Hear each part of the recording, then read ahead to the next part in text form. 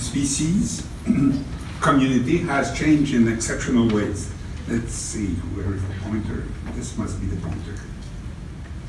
Yeah, here it is. The objective is to compare two surveys. Ecologists and geneticists often want to compare observations at several sites that have been repeated, the observations, at two different times that I will call T1 and T2 in this talk. in landscape ecology and genetics, the data are community composition or population gene frequencies observed at different sites and different times. The community composition data that we have examined uh, uh, and that we have experimented with are from the terrestrial and marine ecosystems. and we can refer to the variation in community composition across time as temporal beta diversity. The general question of interest is the following. In what ways do the observations at individual sites on the map differ between surveys at time one and time two? This is the question that I will be addressing here. And then two particular sub-questions are of interest. Are there sites where the changes between T1 and T2 are exceptional in community composition? And how do the species losses and gains from T1 to T2 compare among the sites? When comparing two surveys of a site at times one and two, the relevant information is actually found in the two community composition vectors containing species presence, absence, or abundance data. Would not be useful to compare species richness, for instance, may be equal at the two times, yet there may have been important changes between T1 and T2. These vectors, however, contain too much information to be easy to grasp, and ecologists often crunch that information into a dissimilarity index computed for the two vectors, times one and times two. the method I'm going to describe has two parts. The first one is to estimate the change at each site between time one and time two using an appropriate dissimilarity index, and then test the significance of that change. And the second part is to find ways of partitioning the dissimilarity information into finer indices of losses and gains of species which may tell us something about the processes at work in the system. I will show now how we can compute an index from presence-absence data at a site. This uh, schematic summarizes the comparison of the survey at time one and at time two for a site. So in this uh, picture, at the two times we have five species in common, the squares represent species. So this would be the similarity portion, and indeed in the equations for indices of uh, the similarity for presence-absence data, the, this portion is called A. B is the number of species that were present at time one but have been lost, and C is the number of species that have been gained between time one and time two. And these two parts here, this plus that, is combined in dissimilarity indices to form the numerator of the dissimilarity. So these are the two usual coefficients that we use the most often with b plus c, the dissimilarity in the denominator, and here we, in the numerator, sorry, and here in the de denominator we have a plus b plus c, whereas here in this coefficient, in the denominator, we have the total A plus B plus the total here B plus C. So 2 times A plus B plus C. You know these coefficients. They have been used. Jaccard coefficient has been used since the year uh, uh, 1900. And the B and C statistics in the numerator of these indices, they actually decompose the presence absence data into losses of species, the B, those that have been lost, and the gains of species, species that have been gained. And we will see more of that in a moment. Similarly, constructed indices can be used to measure changes in abundance per species at a site. I'll not work, walk you through the calculation uh, in the same way, but essentially, these indices are constructed in the same way as the previous ones, except that we, I'm using large letters here, with B and C being the abundances per species, sum over all species, uh, lost and gained. This is the dissimilarity portion, and that's the, the denominator. And for the other coefficient, the percentage difference, it is the same numerator, but with a different denominator. So these, again, are usual indices, and again, the BNC statistics in the numerator of these indices, they decompose abundance data into species losses and gains. Now, what will we do with that? We will use these indices as temporal beta diversity indices.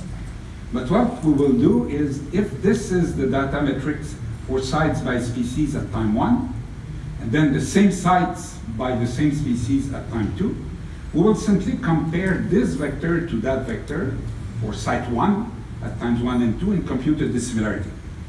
Then we repeat that for site two, this vector compared to that, we compute the dissimilarity.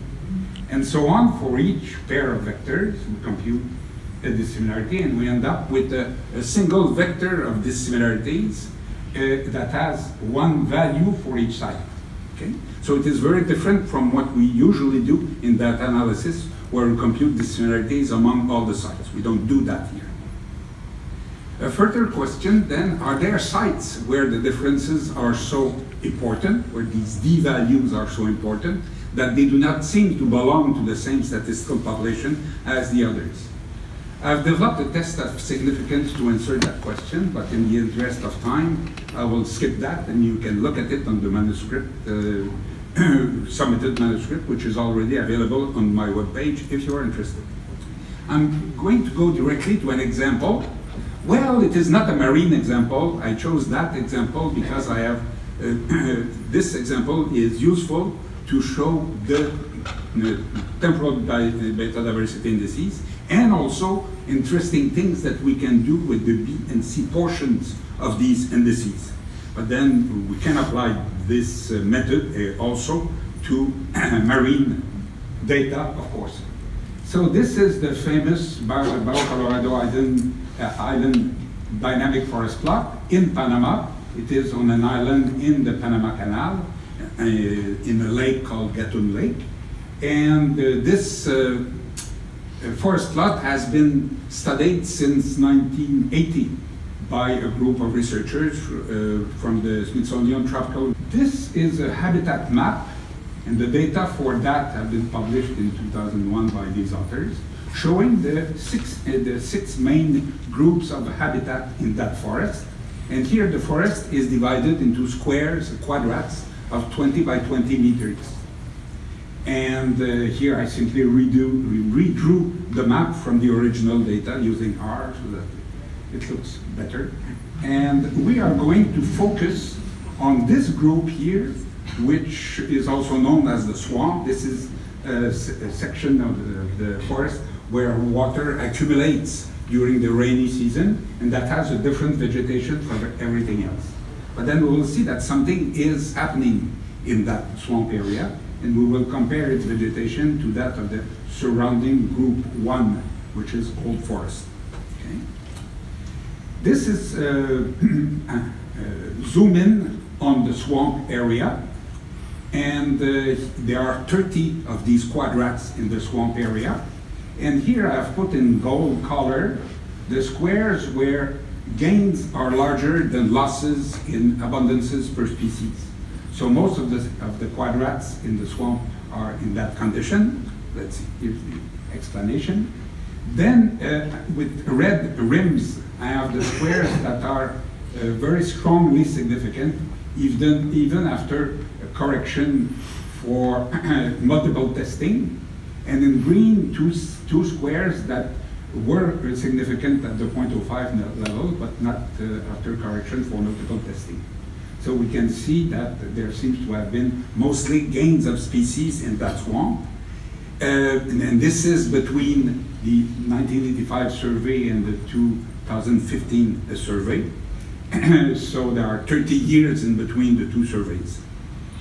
So it's interesting to wonder uh, what is going on there. Oh, by the way, the size of the bubbles, the size of the circle, is proportional to the TBI value, so to the, the similarity index.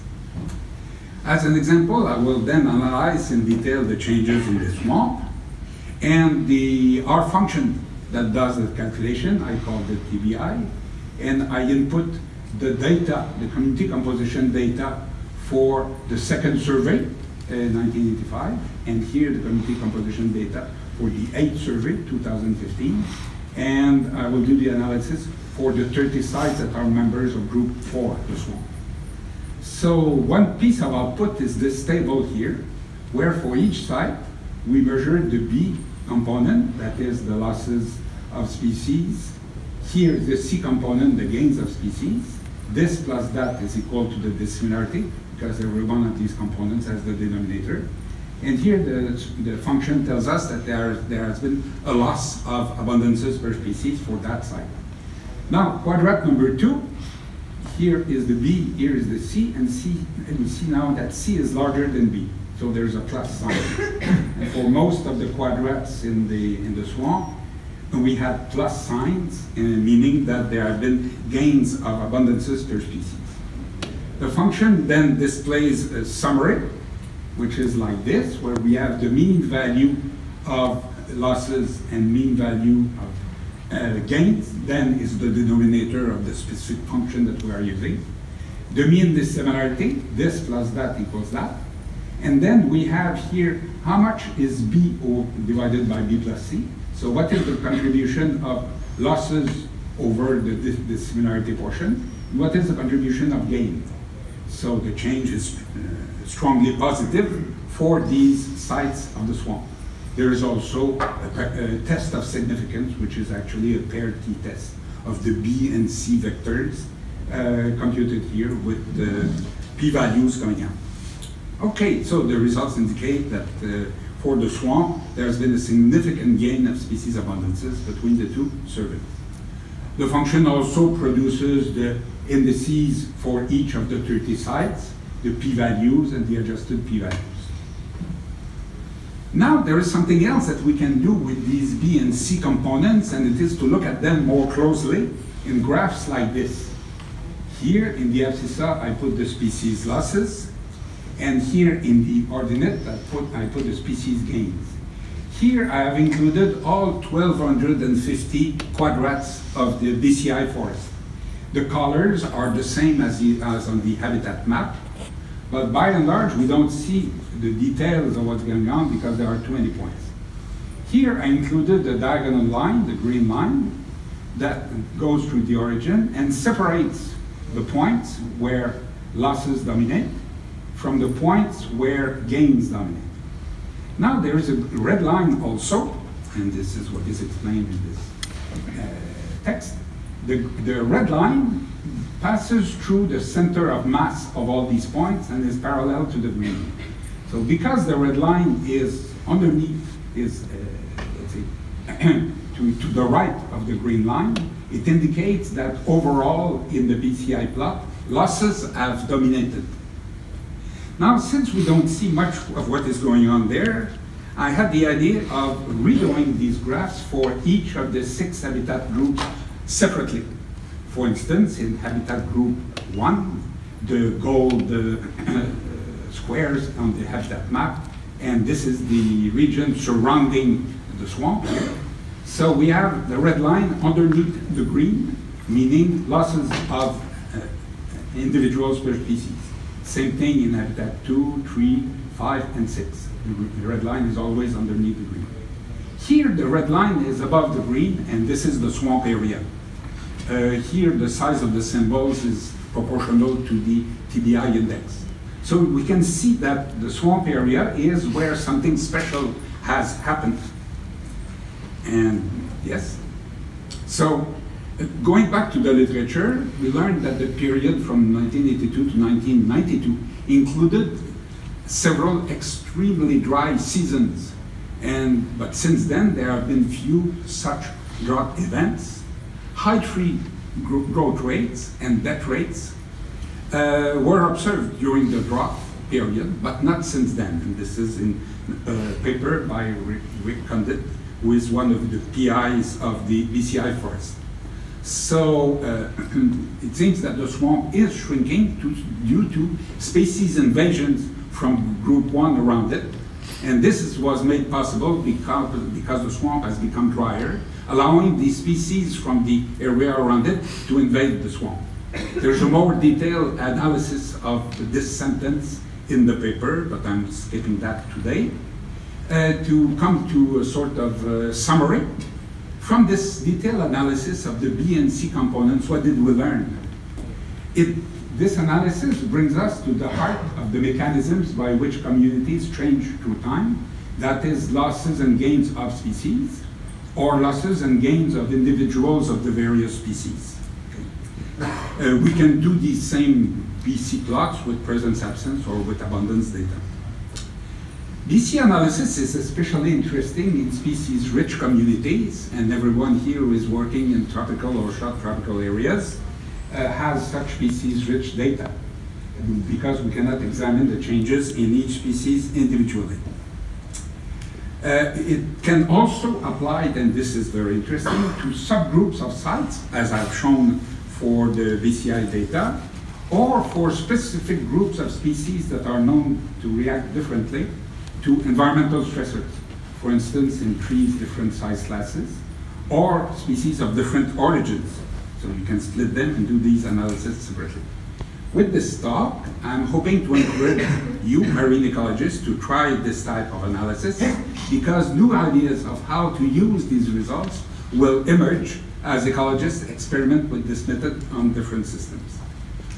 As the last slide, I'm just showing you four papers that have been published already, or one is uh, uh, submitted, where we have applied this method to marine data, brackish data, freshwater data, and freshwater data here. So it can be applied to lots of different uh, types of communities, and we have more such studies in progress. Thank you for your attention.